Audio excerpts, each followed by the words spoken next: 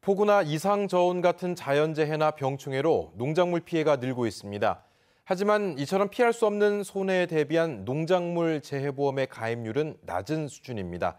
원인과 대책을 김종환 기자가 취재했습니다. 지난 4월에 심은 조생종 벼가 반 넘게 물에 잠겨 있습니다. 이삭이 나올 때 물에 잠긴 탓에 수확량이 줄어들 수 있지만 농민은 큰 걱정을 안 합니다. 벼 재해보험에 가입했기 때문입니다. 태풍이나 또 그 기상 이것이기로 피해를 입었을 때 그때를 대비하는 거지 이 보험이라는 것이. 하지만 전체적인 농작물 재해보험 가입률은 낮은 편입니다. 전국적으로 57개에 달하는 재해보험 대상 품목 가운데 사과와 배를 제외하면 대부분 가입률이 10%대에 그치고 있습니다.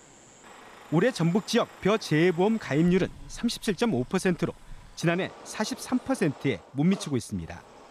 전국 가입률도 낮아 가입 기한을 오는 6일까지 늘렸습니다. 2012년 어, 태풍 볼라벤 이후에 큰 자연 재해가 발생하지 않아서 어, 가입 필요성을 덜 느끼는 것 같은데요. 정부와 지방자치단체가 보험료를 최대 94%까지 지원하지만 돌려받지 못하는 돈이기 때문에 작은 규모로 농사를 짓는 소농들은 부담스러워합니다. 피해가 났을 때 원인과 보상 금액, 대상 등을 놓고 빚어지는 마찰도 가입을 꺼리는 이유입니다. 농작물 재해보험은 농민과 정부 모두에게 필요한 정책보험입니다. 보장성을 더 강화하고 보험료 할인이나 지원 혜택을 더 늘리는 등 농민들의 참여를 이끌어낼 제도 개선이 필요합니다.